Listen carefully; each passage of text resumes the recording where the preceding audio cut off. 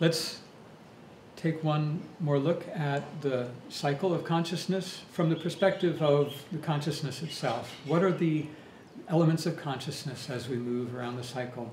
We have we start with awareness of the senses. You can feel yourself in your body. You can see the space around you. You can feel and see your skin. So we say in developmental vision that vision develops under the tutelage of active touch. You know, there was a study at uh, Harvard where they took two cats and hooked them up to uh, one harness where one cat could move, and when it moved, it moved the other cat, and they had the visual stimuli arranged where they both saw exactly the same thing. So a cat that moves itself and one that's being moved passively, seeing, seeing or being exposed to the same patterns of light information in their space world. Guess what happened? The one that, that moved actively developed normal vision.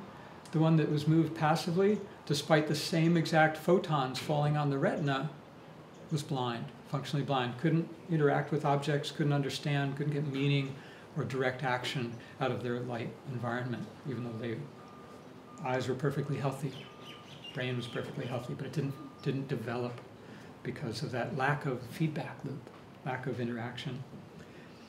So, so awareness of our senses, being aware of your senses is to be in your body, to be, and that moves us into the second level of presence, being present. That's an active engagement with that sensation. And so by just consciously thinking of your feet, feeling your feet, you bring your presence there. And that's a function of the spirit body. And even if I say, now stop feeling your feet, huh, there's you've, you've locked in some presence there and you can't just turn it off as easily as you can turn it on, and that's a good thing. So when we remember to expand our presence, you can, right now, the room that you're in, fill that room with your presence. Feel your presence in the room, behind you where you cannot see, but you can visualize.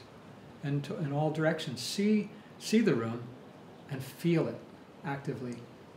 This is an uh, exercise to expand your presence. And then we have identification. We identify self and other, and we identify you know, the color and the shape and the form, and that we name things, we have words and language. And, and this gives meaning. We use meaning in strings to create thought in the, in the earth element.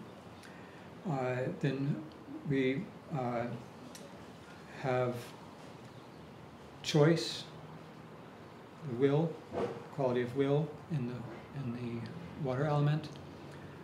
We have wisdom, the potential for wisdom, and to organize and structure veridically, truly according to how things are, and therefore to be in coherence, in a state of coherence with the world around us, where we become a harmonic and, and constructive presence.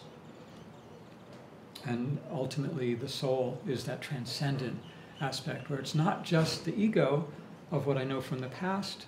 It's my soul is becoming, and it's a transcendent of time, transcendent of space, therefore able to be present here now when invited. So tell, as ego, invite your future self to be present with you and feel the opening of those gates of, you know, we can close the gates against the world and try to be in control, a small control, like how much, how much life can we hold in a tight closed fist versus how much can we hold with our open palms, where we give and receive freely and we allow the universe to flow through us.